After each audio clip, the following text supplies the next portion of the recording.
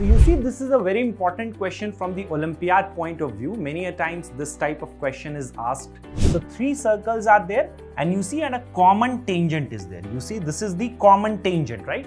And the circles are also touching each other. So basically there is a relation between the radii of these three circles.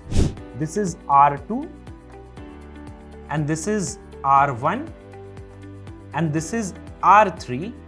So the relation is what guys? So guys, this will be the length of the direct common tangent. You got it? I'm naming it PQ over here. So PQ is the direct common tangent between the circles A and B over here. So let's see how we can find the length of the direct common tangent. You see in this triangle TSR, can I use the Pythagoras theorem? You see this is 2 square root of R1 R3. Can I divide by 2 square root of R1 R2 R3? I can do that, right? On both these sides, obviously.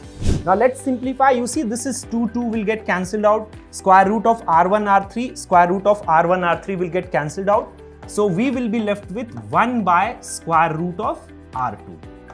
So this is a very important relation for competitive examination and it must be on your tips.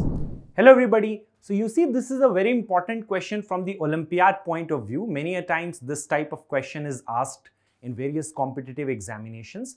So let's do this one. So over here you see three circles are there. They, I mean these two circles, this one and this one can be of equal uh, radii as well. But over here it is given that they are of three different measurements, right? So three circles are there and you see and a common tangent is there. You see this is the common tangent, right? And the circles are also touching each other.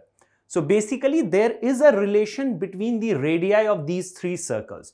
Basically you have to directly remember the formulae.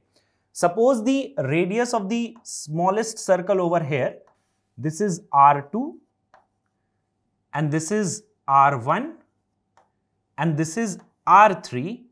So the relation is what guys? The relation is 1 by R2 square root of R2 that is equal to 1 by square root of R1 plus 1 by square root of R3 over here.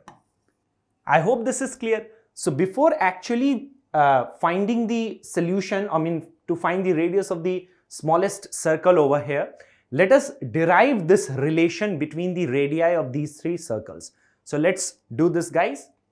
So before actually doing this, you have to understand something called direct common tangent. Suppose this is circle A, uh, not suppose this is given in the question itself and this is circle B, right? And suppose the radius of this circle is R1, the radius of this circle is R2. I hope this is clear. So guys, this will be the length of the direct common tangent. You got it? The circle A, circle B, and this is the length of the direct common tangent. You can name it, suppose I'm naming it PQ over here. So PQ is the direct common tangent between the circles A and B over here. So let's see how we can find the length of the direct common tangent. So for that we have to do construction. So can we join this thing guys? And can we drop perpendicular like this? So you see over here, what is this length guys? This is R1. What is this length? This is R2 over here. I hope this is clear. Now you see as we have dropped this perpendicular and you see tangent to a circle is perpendicular to the radius through the point of contact. You know this property. So what does it mean? That suppose uh, PQ, I'm naming it R and S. So you see over here PQRS becomes a rectangle. If I say PQRS, it becomes a rectangle over here, right? So therefore, if this is R2, this one is also R2 over here. I hope this is clear. And you see this total is R1 over here. So what does it mean? That this part over here will become R1 minus R2. I hope this thing is clear. Now we have to find the length of the direct common tangent that is PQ. Now if you see this right angled triangle over here, suppose this is T. So in this triangle TSR, if you talk about in triangle TSR, you see in this triangle TSR, can I use the Pythagoras theorem? can I say TR square is equal to TS square plus SR square. We can do this over here guys, right? Now you see over here, what is T uh, R square? TR square over here is R1 plus R2 the whole square.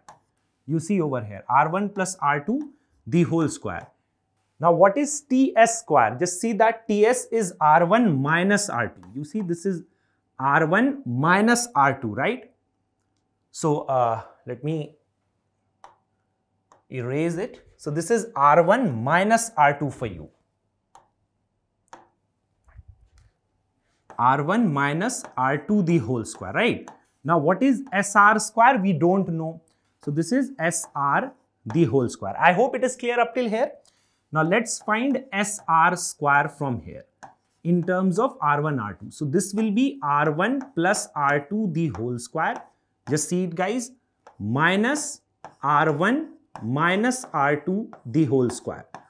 Now guys, if you simplify this using the identity a plus b the whole square and a minus b the whole square, this you must have done since childhood obviously.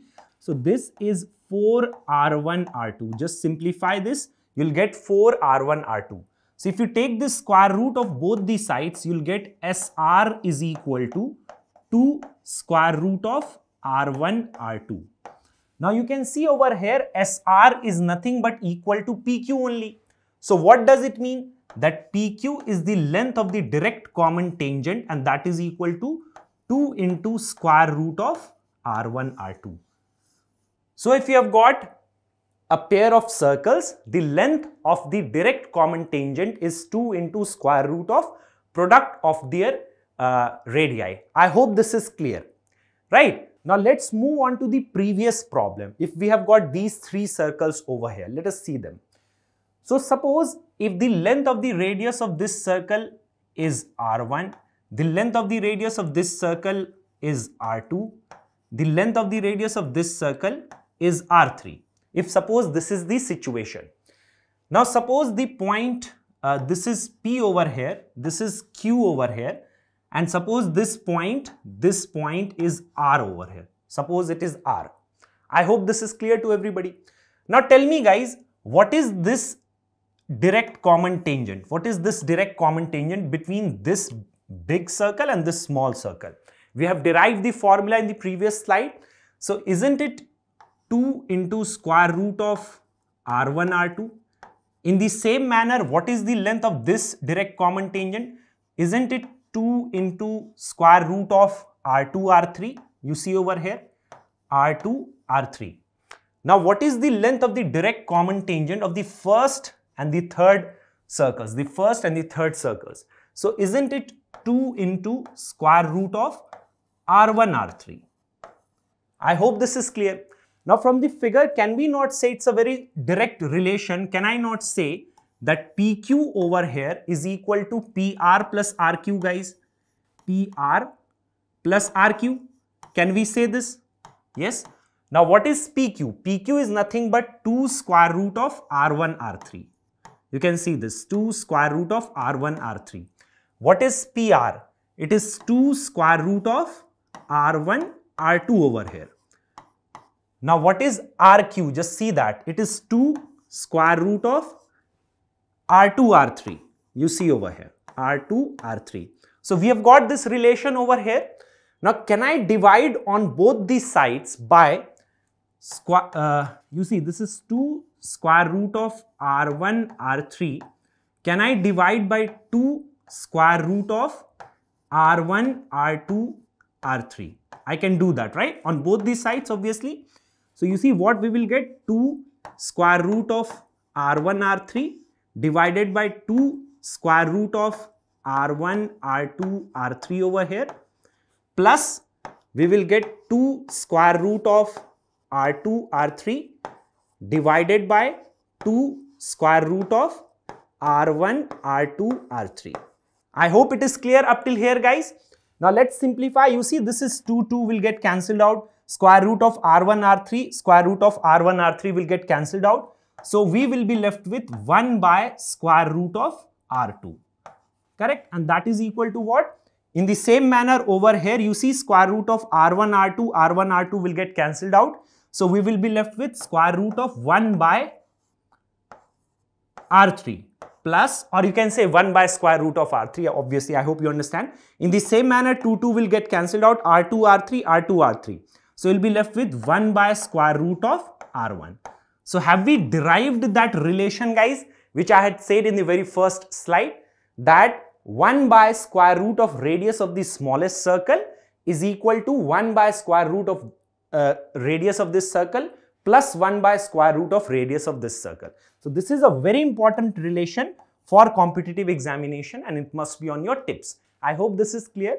Now let us find the answer in the first case over here. Just put the values.